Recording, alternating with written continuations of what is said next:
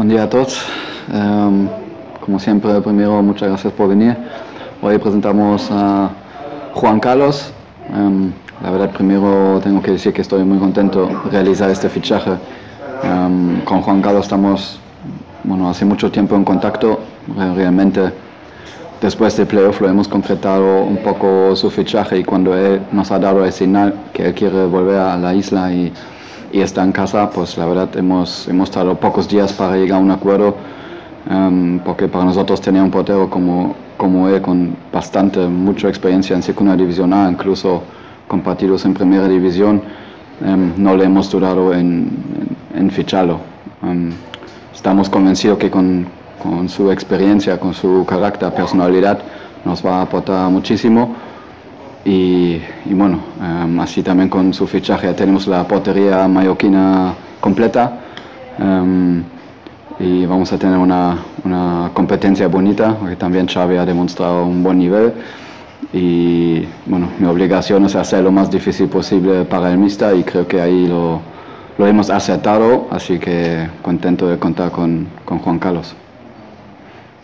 Bueno, pues parece primero Juan Carlos tiene vuestras preguntas y luego si tienen alguna pregunta para el director deportivo. Pues... Casa, ¿no? Volves a Mallorca, hmm. era un proyecto conocido en los últimos años, ¿no? Un proyecto puntero en la categoría, bueno, con esa, como bien decía Pater, ¿no? Con esa competencia, con, con, un portero también importante en la categoría como Xavi. Bueno, son muchos alicientes, ¿no? Los que se sumaban para aceptar la oferta al Baleares, ¿no? Sí, bueno, yo creo que eh, en el confinamiento hemos tenido todo mucho tiempo para pensar y bueno, yo lo tenía, yo lo tenía claro. Eh, hablé con mi agente y, yo le dije que solo valoraba la, la opción de venir aquí.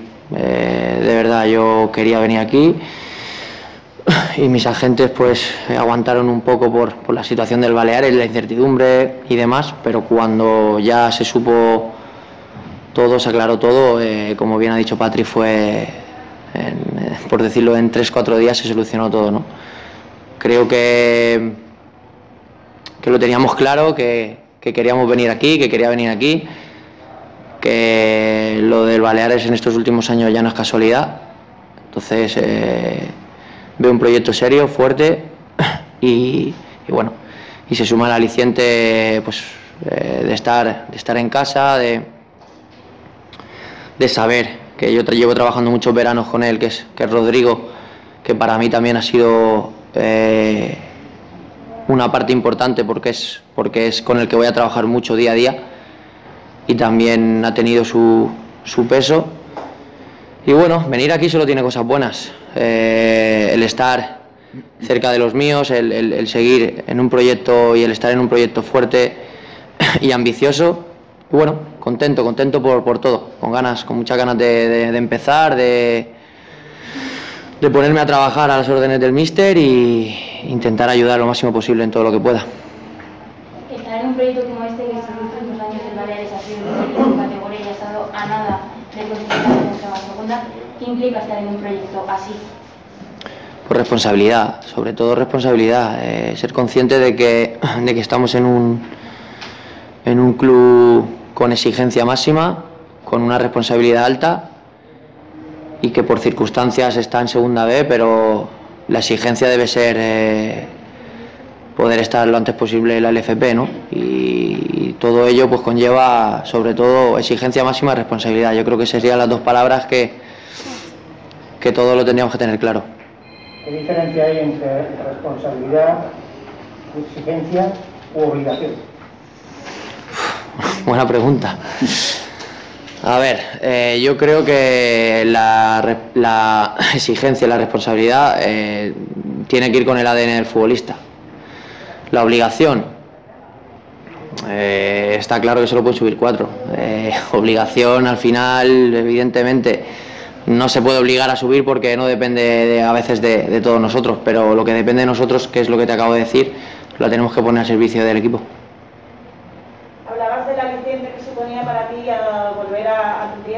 Después de la trayectoria que llevas, ¿es un paso para atrás venir a un, a un equipo de la división de bronce?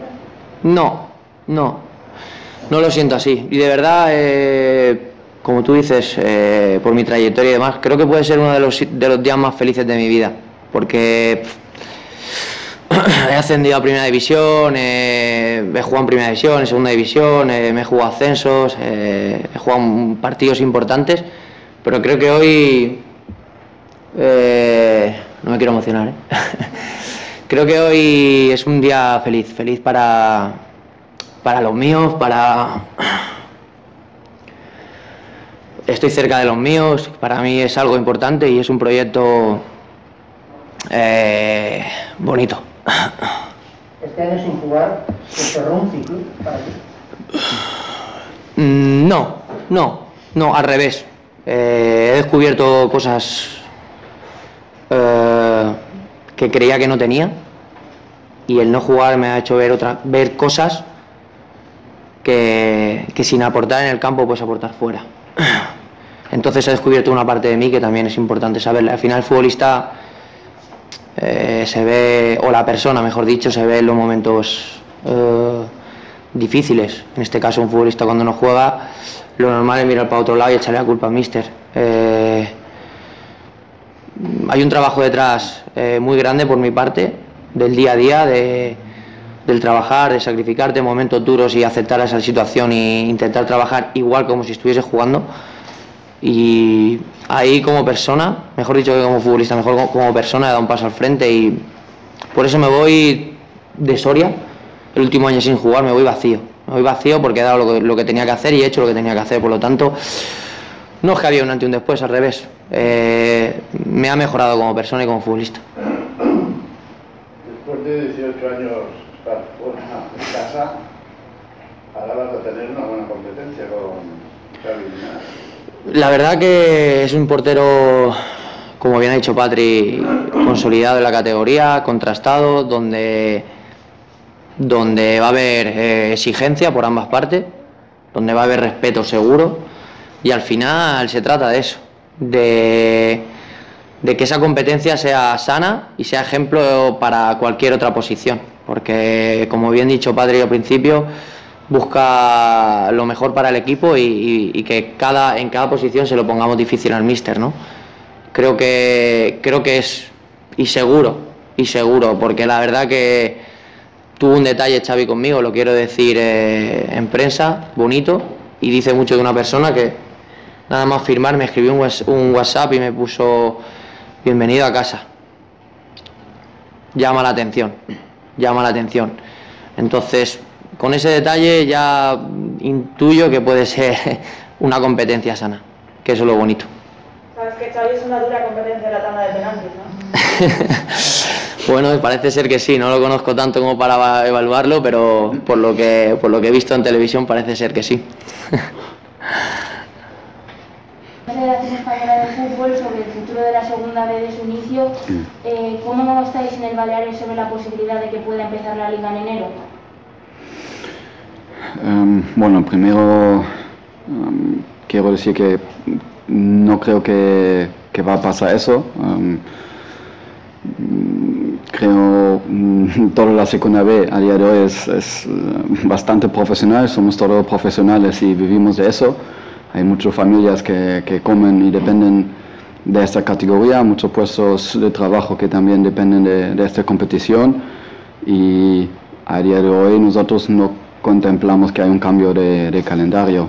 Em, igualmente, bueno, es un tema que, valora la federación, no lo, ahí no podemos influir mucho ¿no? a día de hoy, em, pero la verdad nosotros no pensamos en un cambio porque nos entendemos que somos profesionales al 100% y que si la primera y segunda división también juega fútbol, creo nosotros también jugamos al fútbol. Em, también creo que el presidente de Federación Española también siempre era un presidente que defendía el fútbol modesto y, espero que en esta ocasión tampoco se va a olvidar de ellos.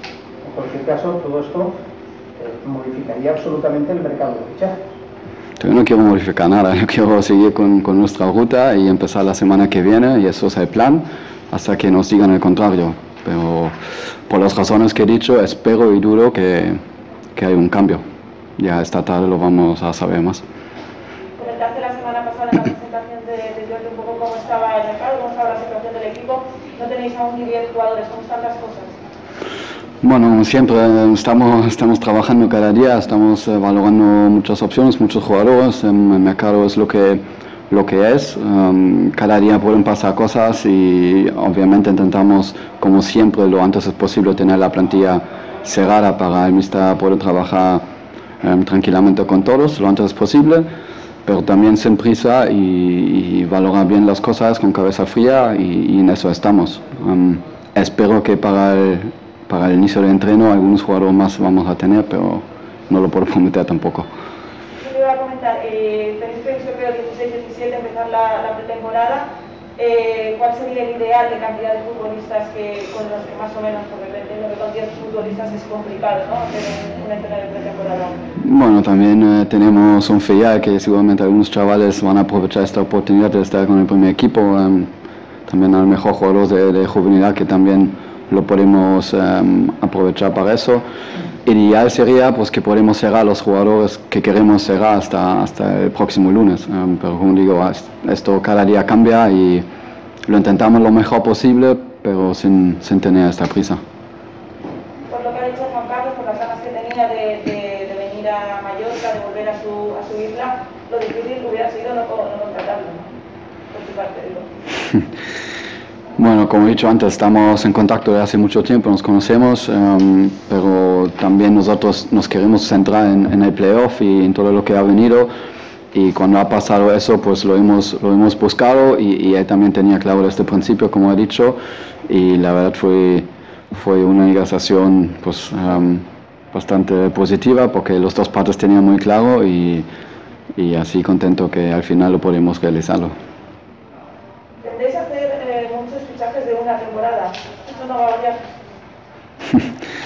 Bueno, son las circunstancias. Eh, no es lo que me gusta firmar cada año 15 jugadores, pero las circunstancias em, son así y lo vamos a afrontar como siempre con, con la máxima exigencia, responsabilidad y, ilusión. ¿Estáis hablando todavía con jugadores de la pasada temporada? A ver si se queda. También, claro que sí, estamos valorando em, todas las opciones, em, miramos el mercado, tenemos nuestros pensamientos, el Mister acaba de, de llegar y seguramente en los próximos días y semanas pues vamos a, vamos a concretar todos estos temas.